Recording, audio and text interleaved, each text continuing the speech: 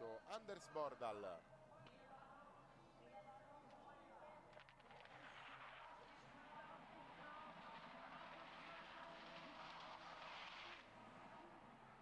...98 km e mezzo, veloce allo stacco dal dente...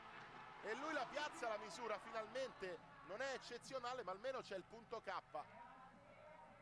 che sommato ai 197 metri e mezzo 183 e mezzo è quasi il punto K sommato ai 197 e mezzo della prima manche potrebbero portarlo decisamente in testa.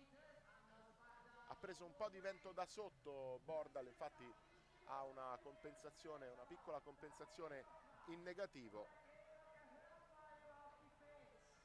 Adesso tocca a Gregor Schlierenzauer che ha una grande occasione perché Kofler è andato malissimo e ha appena 42